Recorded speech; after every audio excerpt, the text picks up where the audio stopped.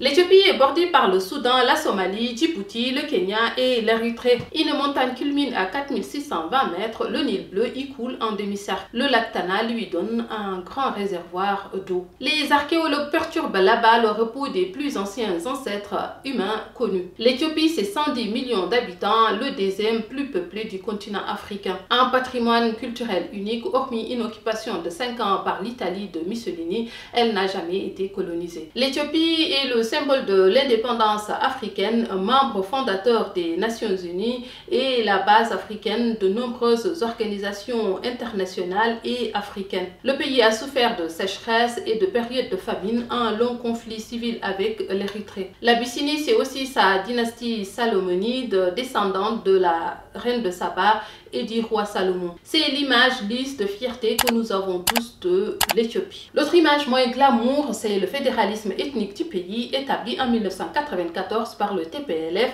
le Front de libération du peuple du Tigré.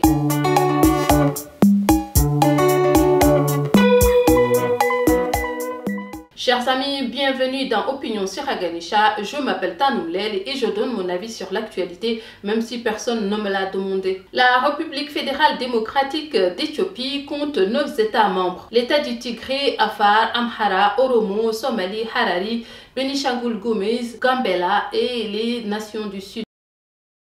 Le fédéralisme est un système dans lequel il existe une division du pouvoir entre une autorité générale et plusieurs autorités régionales. L'empereur Théodros d'Éthiopie est le premier à moderniser le pays en essayant d'unifier les régimes politiques fragmentés de l'Éthiopie sous la bannière du Serat, gouvernement L'empereur Ménélique II consolide l'autorité impériale et met en place un système fédéral avant que le concept de fédéralisme n'arrive en Occident. On va voir c'est quoi l'Abyssinie, sa délimitation géographique et les populations qui y vivaient. Ensuite, Comment le pays est passé de Abyssinie à Éthiopie, on parlera aussi de la naissance de l'empire éthiopien de Ménélique II, les guerres de conquête de ce dernier, puis l'arrivée de Haile Selassie, ensuite euh, la terreur rouge de Mengistu Ali Mariam, puis les Tigréens et seulement on pourra comprendre ce qui se passe en Éthiopie actuellement. Commençons d'abord par l'Abyssinie. L'Abyssinie est l'ancien nom de l'Éthiopie ou encore son nom arabe Habasha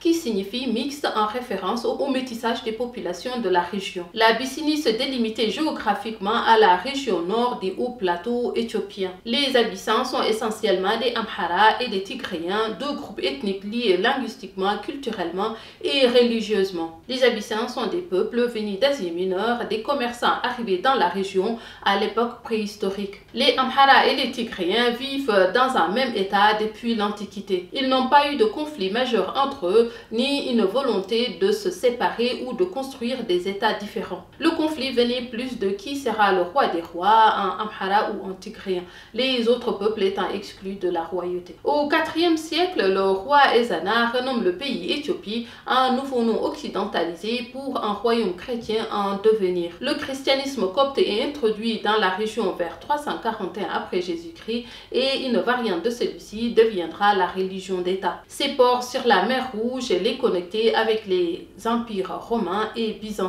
L'Éthiopie antique atteint son apogée au 5e siècle, puis est peu à peu isolée par les conquêtes musulmanes et les guerres féodales. Les Oromo entrent dans l'histoire écrite éthiopienne entre le 15e et le 16e siècle. Ils sont décrits comme sortant de nulle part et envahissant les terres des Habasha. Musulmans pour la plupart, ils dominent par la démographie sans jamais essayer d'assimiler leurs voisins ni les convertir. Les Oromo sont des nomades qui se sont sédentarisés par la force des choses. Les Oromo sont décrits comme un peuple épris de liberté qui ne reconnaît aucune autre autorité que la vitesse de leurs chevaux, la force de leurs mains et la vitesse de leurs lances. Les Abyssins prétendent que les Oromos ne sont pas éthiopiens, mais pour les Oromos, cette légende est destinée à justifier la violence et l'exclusion des Abyssins contre eux. L'Éthiopie actuelle est une fédération féodale de nations diverses soumises par euh, Ménélique II. À la fin du 19e siècle, Ménélique II d'Abyssinie va envahir ses voisins un un entre 1872 et 1900. Cette expansion durera plus de 25 ans et finira par la soumission de tous les pays autour de l'Abyssinie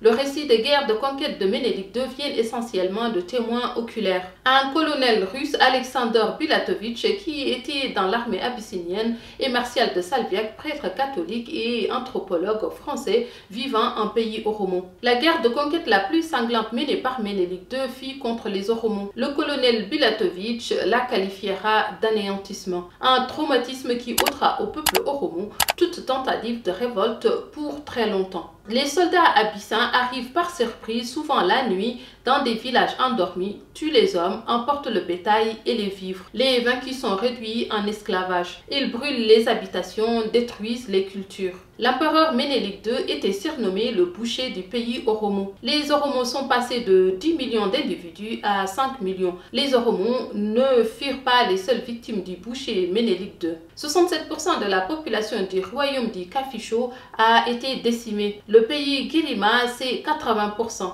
99% du peuple magi a été tué ou vendu comme esclave en espace de 25 ans. Les peuples du sud de l'Abyssinie, vaincus dans un holocauste sanglant, sont incorporés de force dans un empire où ils étaient considérés comme des serfs. Le commerce d'esclaves a enrichi la noblesse amhara et tigrien selon Marjorie Perham, une historienne britannique. Les massacres étaient si fréquents et l'esclavage si lucratif que certains peuples étaient en danger d'extinction. À la frontière avec le Soudan, des régions entières étaient complètement dévastées, des villes dépeuplées, envahies par la brousse. Le peuple Oromo est celui qui a payé le plus lourd tribut. Ils étaient vendus comme esclaves, offerts en cadeau lors des mariages entre des familles royales abyssiniennes, les hommes castrés, des eunuques pour servir dans les palais de l'empereur. À une certaine époque, Ménélique et l'impératrice Taïtou possédaient un vaste domaine de 70 000 esclaves. Il y avait aussi un système de confiscation des terres appartenant au peuple conquis et sa redistribution aux abyssins connu sous le nom de Gabar. Gabar est un mot amharique qui veut dire celui qui paye des impôts ou des hommages. Dans le système administratif éthiopien, le terme est devenu synonyme de servage comme Abd est devenu synonyme de noir chez les Arabes. Les terres conquises sont divisées en trois selon un principe traditionnel appelé siso ou entière. Les Abyssins prenaient les deux tiers des terres les plus fertiles et le dernier tiers restait aux autochtones. Les peuples vaincus étaient soumis à un autre impôt, à savoir la plus grande partie de leur récolte allait au maître. Ménélique II trouvait sa puissance conquérante dans sa collaboration avec les Européens qui lui fournissaient les armes à feu. On arrive à la fin de la deuxième vidéo sur l'Éthiopie. Partage, et dis-moi ton avis sur cette histoire si tu la découvres ou si tu savais déjà. Si tu veux, tu peux toujours contribuer financièrement à mon Tipeee dont le lien se trouve dans la barre de description. Je te donne rendez-vous dans la dernière vidéo consacrée à l'Éthiopie et je te dis à bientôt